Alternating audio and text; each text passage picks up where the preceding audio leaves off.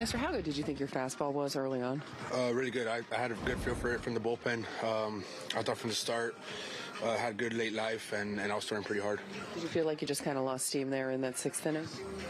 Uh, I got a little scattered. Um, I felt like my body was pretty good. I felt like I could continue, um, but yeah, like like got scattered, and uh, a couple of them got away from me.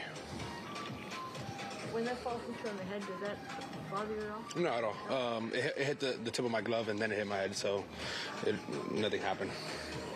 Mr. Aaron kind of describing the sixth. He, he just said you kind of ran out of steam a little bit. Is that kind of the best description, or because it seemed like you had you were breezing through the innings before that? Yeah, I think um, I think the at bats got tougher, um, and I think um, my command wasn't there towards the end. So I would say you know team was appropriate, but I felt pretty good body wise. How important was it for you to bounce back after that last start? Super important. Um, obviously, you know, going four and a third or four, four innings against Twins and allowing four, and then coming back here and facing Tampa, you know, was uh, it was something I would look forward to to, to bouncing back.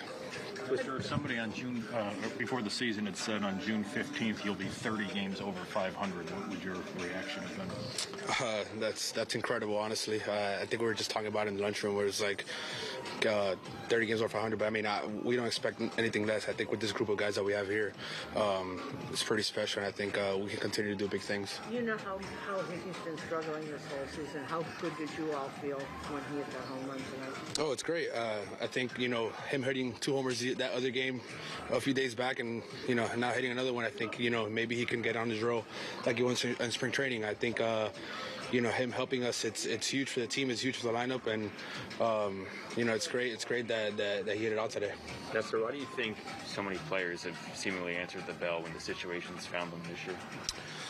Um, you know, I think this team uh, can do a lot of great things. Um, and I think uh, the way we carry ourselves in here, I think translate out there.